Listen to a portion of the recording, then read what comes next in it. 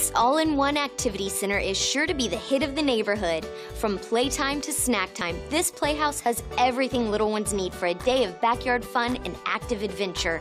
Challenge friends to a friendly game of ring toss or ball toss on the activity wall, featuring ring pegs and a Velcro style ball target. Zip down the four foot long slide and race back into the playhouse through any one of the three crawl through spaces. Or invite friends over to play pretend inside this super spacious playhouse, featuring a working Dutch door and dog door to enhance the realistic and imaginative play. Need a break from all the fun?